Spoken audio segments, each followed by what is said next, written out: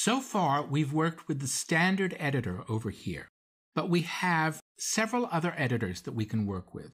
I'm still in viewcontroller.m, and I can now use the assistant editor. And see what's happened is I have opened automatically by clicking on the assistant editor a second pane here. So I have viewcontroller.m over here. And over here I have the counterpart, which is viewcontroller.h.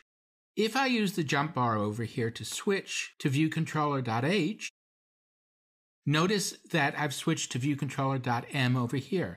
So I always have the counterpart H file for the .m file or the .m file for the .h file. I have those if I have counterparts selected over here. I have many other choices. I can use manual selection and then I can come in here just as I've done before and navigate through and put any two files next to one another if I want to compare code. Depends on what you're doing, but that can be very useful. Then I have some other interesting features over here. I can look at the superclasses of view controller. So it's a subclass of view controller, which is a subclass of UI responder, which is a subclass of NS object. That's a way of going up the hierarchy to see what's going on. If there are subclasses, I can look at them. I can also look at siblings, which would be classes in the same relative place in the framework or within my project. So these are all framework classes.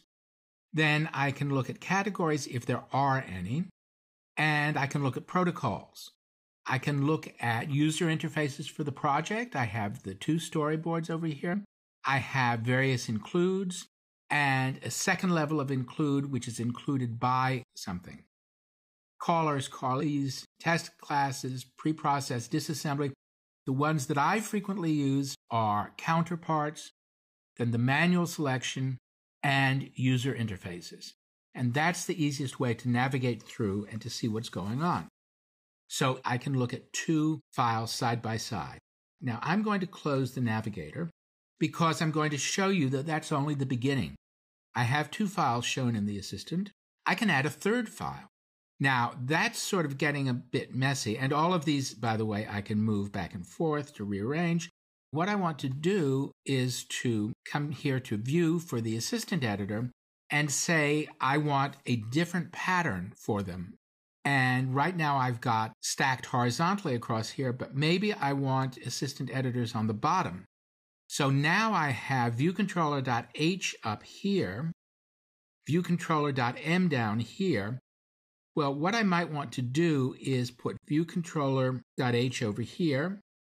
So I've got viewcontroller.m over here. I have those two related files and then I can come up here and pick another file, perhaps the app delegate.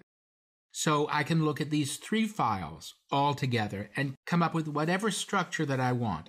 I can close any of these panes, open another one, putting together the counterparts with a specific file and then a third file for comparison, perhaps a storyboard file. This is a way that I frequently work with the assistant. But you can do anything you want. Just be aware that it's there and you may have to hide the utility area or the navigation area, but this is how you can compare several files, even on a single monitor.